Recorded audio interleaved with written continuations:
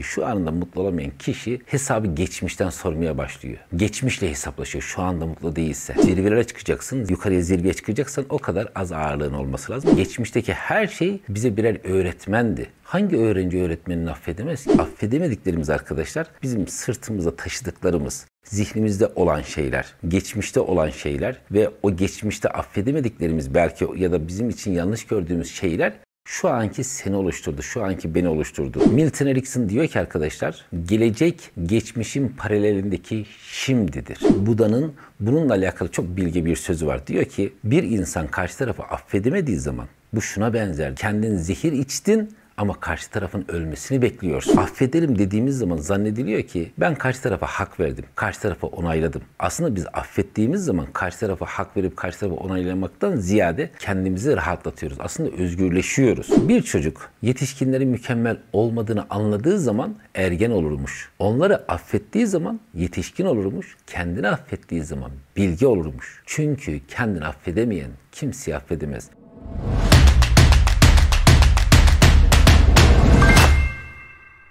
Bu da bir gün arkadaşlar öğrencileriyle bir ağacın altında oturduğu sırada bir yabancı geliyor ve Buda'nın yüzüne tükürüyor. Bu da yüzünü siliyor. Sonra diyor ki tamam Şimdi sırada ne var? Arkadaşlar bu da kızmıyor ama Buda'nın sadık öğrencisi, en sadık öğrencisi anında diyor ki ya bu kişinin cezalandırılması lazım. Yoksa diyor onun yaptığını herkes yapmaya başlar. Bu da diyor ki arkadaşlar o yabancı birisi beni tanımıyor. Buraya gelirken diyor zihninde benimle alakalı düşünceleri oluşmuş. O diyor aslında bana tükürmüyor zihnindeki düşüncelere tükürüyor. Ama diyor sen beni tanıyorsun. Ve diyor senin bu adıma ceza verilmesini söylemen o diyor beni rahatsız etti. O diyor zihnindekine tükürüyor. Zihninde nasıl ağırlık oluşmuşsa artık budayla alakalı neler düşünmüşse o aslında diyor zihnine tükürüyor. Onun için ben de ona dedim ki şimdi sırada ne var? Evet güzel dostlar bazen ağırlıklar olur ve ağırlık taşırız. Böyle zirvelere çıkacaksın. Yukarıya zirveye çıkacaksan o kadar az ağırlığın olması lazım ama biz ağırlıkları alır onunla yukarıya doğru çıkmaya çalışırız ve ego yaparız. Ben taşıyabilirim moduna gireriz. O bir müddet sonra bize çok zor gelmeye başlar. Hani böyle affedemediklerimiz vardır ya hayatımızda. Zihnimize taşırız ve ondan bir türlü kurtulamayız. Tabi buna ne diyoruz? Affetmek. Affedemediklerimiz arkadaşlar bizim sırtımızda taşıdıklarımız, zihnimizde olan şeyler, geçmişte olan şeyler ve o geçmişte affedemediklerimiz belki ya da bizim için yanlış gördüğümüz şeyler şu anki seni oluşturdu, şu anki beni oluşturdu. Aslında burada önemli taraf şu güzel dostlar. Biz affedelim dediğimiz zaman zannediliyor ki ben karşı tarafa hak verdim, karşı tarafa onayladım. Aslında biz affettiğimiz zaman karşı tarafa hak verip karşı tarafa onaylamaktan ziyade kendimizi rahatlatıyoruz. Aslında özgürleşiyoruz. Bir gün çok sevilen bir lise öğretmeni öğrencilerine diyor ki sizinle bir çalışma yapalım mı? Öğrencileri de öğretmeni çok seviyor ya arkadaşlar. Tabii diyor hemen olur yapalım diyorlar. Ne dersem yapacaksınız. Tüm öğrenciler tamam diyor hocam sen dile bizden ne dilersen. Ve diyor ki tamam çalışma şöyle başlayacak. Yarın hepiniz 5 kilo patates getirin ve boşta bir poşet getirin diyor. Sonra yarın arkadaşlar sıraların üzerinde 5'er kilo patatesler ve poşetler. Öğrenciler öğretmenlerinin ne söyleyeceğini merakla bekliyorlar. Öğretmen diyor ki şimdi diyor herkes şunu yapsın. O patateslerin üzerine diyor hayatta affedemediğiniz kişileri yazın onu boş poşete atın. Bir kısım öğrenciler bir iki patatesin ismini isim yazıp koyuyorlar. Bir kısmı 4-5 patatese isim yazıp koyuyorlar. Bir kısmı da arkadaşlar poşeti ağzına kadar dolduruyor. Ve diyor ki sonra öğretmen bu poşetleri bir hafta yanınızda taşıyacaksınız. Ve çalışma başladı. Öğrenciler de söz verdiler. Biz ne derse öğretmenimiz yapacak diye. Bir hafta boyunca yanlarında taşıyorlar. İşte servise biniyorlar yanlarında, yatıyorlar yanlarında, yemek yiyecekler yanlarında, duşa girecekler yanlarında, hep yanlarında poşet. Bir hafta sonra öğrenciler geliyor arkadaşlar okula derse geldiklerinde yine poşetleri, yanlarında patatesler, yanlarında. Diyorlar ki ya öğretmenim bu çok zor. Herkes bizimle dalga geçiyor. Patatesler kokmaya başladı ve bu çalışmayı bıraksak artık. Diyor ki öğretmen bak fark ettiniz mi işte diyor. Sizin affedemediğiniz kişiler hepsinin yanınızda taşıdığınız kişiler. Siz affettiğinizde aslında affettiğiniz kişiye iyilik yapmıyorsunuz. Kendinize iyilik yapıyorsunuz. Kendinizi özgürleştiriyorsunuz ve zirvelere doğru çıkmaya hazır oluyorsunuz.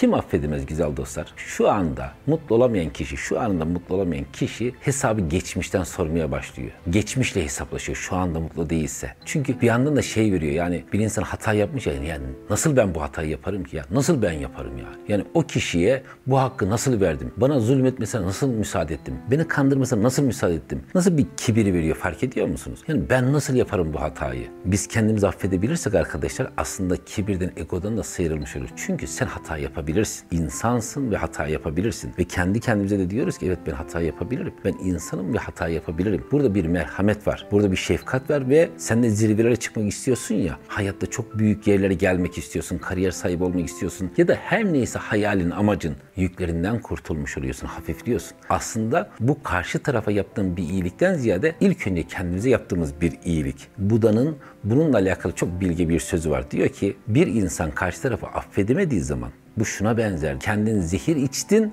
ama karşı tarafın ölmesini bekliyorsun. Sen birilerini affedemediğinde zannediyoruz ki biz ona bir zarar veriyoruz. O ölecek. Hayır. Olan her şey kendimize oluyor. Ve güzel dostlar eğer geçmişi affedebiliyorsak bu iki şey yapıyor. Bir, kendi kibrimizi elimizden alıyor. Evet ben de hata yapabilirim. İnsanım çünkü kendisini affedemeyen kimseyi affedemez. Kendini affediyorsun. İkinci faydası da şu oluyor bizim için. Kendini affedebilen, hata yaptığını gören ve ben yapabilirim diyen kişi aynı zamanda diğer insanla da evet ya hata olabilir diyor. Bir gün ben trafikteyken gerçekten öyle bir hata yaptım. Çok büyük bir hata yaptım ve çok büyük bir kaza olacaktı. Yani sonucu ölümle sonuçlanabilecek bir kaza olacaktı ve hatayı ben yaptım. O günden sonra dedim ki evet ya olabiliyormuş. Trafikte insan hata yapabiliyormuş. Eğer biz hata yaptığımızı fark ettiğimiz zaman başkalarının da hata yapabileceğini anlayıp daha merhametli insanlara dönüşmeye başlıyoruz. Şöyle diyoruz değil mi bazen? Ya o hatayı yapmasaydım, geçmişte şu hatayı yapmasaydım ev sahibi olabilirdim, arsa sahibi olabilirdim. Geçmişte şu hatayı yapmasaydım çocuklarıma bir şeyler bırakabilirdim. Onlara daha güzel bir gelecek verebilirdim.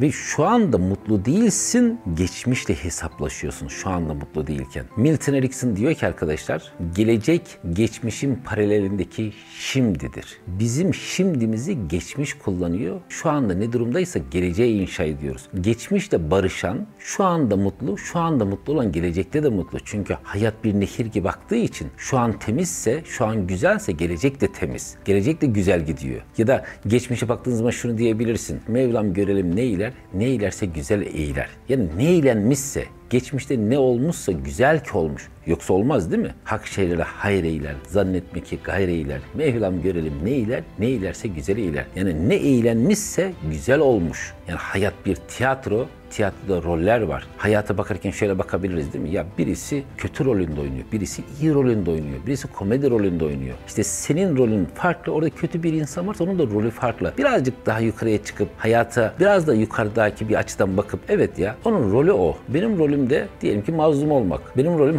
haksızlığa uğramakmış. Bu tiyatroda onun rolünde haksızlık yapmakmış diye de bakabiliriz. Biliyoruz değil mi güzel dostlar? Bir şey ya olduğu anda güzeldir ya da neticesi itibariyle güzeldir ama mutlaka güzeldir. Biliyoruz değil mi güzel dostlar? İnsanlar zulmeder ama kader adalet eder. Senin geçmişte yaşadıklarından dolayı şu anki mükemmel sen oldun. O geçmişte yaşadığımız dediğimiz şeyler şu anki beni oluşturdu, şu anki seni oluşturdu. Dolayısıyla geçmişteki her şey bize birer öğretmendi. Hangi öğrenci öğretmenini affedemez ki? Öğrenci öğretmene sadece teşekkür edebilir. Evet güzel dostlar hayatla barışmamız önemli. Bizim hata yapabilecek bir insan olduğumuzu fark etmemiz önemli. Neden ben hata yapamayayım ki insanım?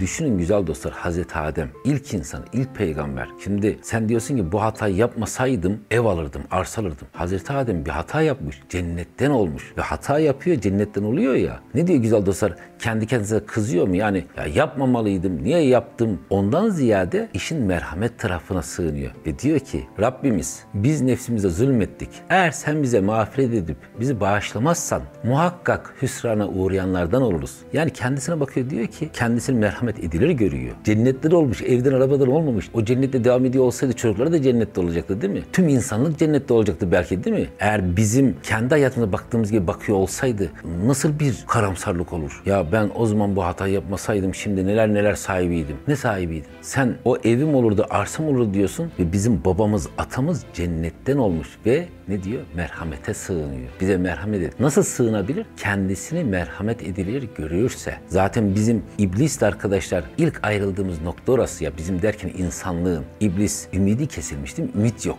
Ümit yok, iblis olmuş. Ümit var, hata yapabilirim ben. Merhamet var, Hazreti Adem olmuş, insan olmuş. Ve arkadaşlar merhamet ilk oradan bugüne geliyor. Yani bizim babamız, atamız o hata yapıyor ve af diliyor. Şu anda da bizler geçmişte hata yapmışsak, eğer kendimizi affetmiyorsak dualarımızda bile samimi şekilde af dileyemeyiz ki. Evet güzel dostlar bize düşen şey kendi hayatımıza bakıp ya da başka insanlara bakıp ya olabilir, insansın hata yapabilirsin. Bu karşı taraf iyi ya da haklı demek değil.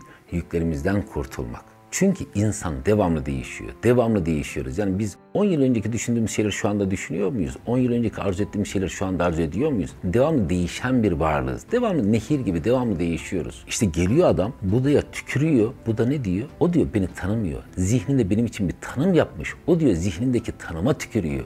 Şimdi diyor başka ne var? Yani zihninde ne var? Ve adam şok bir şekilde evine gidiyor değil mi arkadaşlar? Düşünceleri paramparça olmuş. Yani ben ona tükürdüm kızmıyor bile. Ve yarın geliyor aynı kişi, aynı adam yarın geliyor Buda'nın ayaklarına kapanıyor ve diyor ki beni affet. Buda da diyor ki arkadaşlar ben diyor dünkü ben değilim. Sen de dünkü sen değilsin. Hayat diyor nehir gibi akıyor. Dolayısıyla diyor affedecek bir durum yok. Gel diyor şimdi yeni şeyler konuşalım. Ne kadar güzel. Gel şimdi yeni şeyler konuşalım. Sen dünkü sen değilsin, ben de dünkü ben değilim. Sen de dünkü sen değilsin, 10 yıl önceki sen değilsin, 20 yıl önceki sen değilsin. Dünkü sen de değilsin, ben de değilim. Çünkü devamlı değişiyor insan, devamlı değişiyor. Dolayısıyla biz dünlere baktığımızda onu başka birisi gibi görebiliriz. İyileştirmek istiyoruz değil mi kendimizi? Şu anımızı güzelleştirmek istiyoruz ve geçmişle barışmak istiyoruz. Geçmişle barışmak istediğimizde o geçmişteki kişiye başka birisi gibi bakabiliriz. Hatta şunu yapabilirsin affetmek istiyorsan, kendini affetmek istiyorsan. O geçmişteki kişiye öncelikle şöyle düşünebilirsin. Sevdiğin birisi, yani sevdiğin bir arkadaşın, sevdiğin çocuğun, sevdiğin annen, sevdiğin eşin.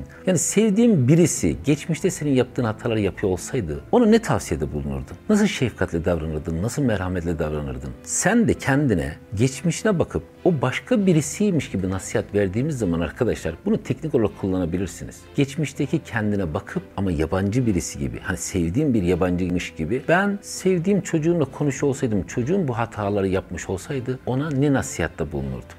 Ne tavsiye ederdim ona? Ona nasıl davranırdım? Geçmişi değiştiremeyen geleceği değiştiremez. Çünkü geçmiş neyse gelecek de odur. Çünkü şu anda mutlu değilsen bu şudur, geçmişten şikayetçisindir. Ve sen de geçmişini değiştirmek için sevdiğin bir insana nasihat veriyormuş gibi, tavsiyede bulunuyormuş gibi bulunabilirsin. Evet güzel dostlar, biliyorsun insanlar zulmeder, kader adalet eder. Sana her zaman hak ettiğinin daha fazlası verecek. Biliyorsun. Mevlam görelim ne eyler, ne eylerse güzel eyler. Ve bugüne kadar ne etmişse güzel etmiş. Bundan önce olan her şey güzeldi. Ve kader daima kulun lehine hükmeder. Her zaman her şey bizim güzelliğimiz için güzel dostlar. Bir rüyadayız, bir tiyatroda oyun oynuyoruz ve sana roller verilmiş, başkalarına roller verilmiş. Herkes kendi rolünü oynuyor. Bu açıdan bakabilirsin. Bu açıdan baktığın zaman insanlara karşı daha affedici, daha merhametli bakmış olabiliriz. Biliyorsun artık Affetmek demek karşı tarafa haklısın demek değil. Yüklerinden kurtulmak demek. Affetmek demek özgürleşmek demek. Affetmek demek geleceğin kapılarını sonuna kadar açmak demek. Evet güzel dostlar, biz nasılsak hayata öyle bakıyoruz. Kendi aynamızdan bakıyoruz hayata. Buda'nın bilge sözü neydi güzel dostlar? Karşı tarafı affedememek, zehir içip de başkalarının ölmesini beklemektir.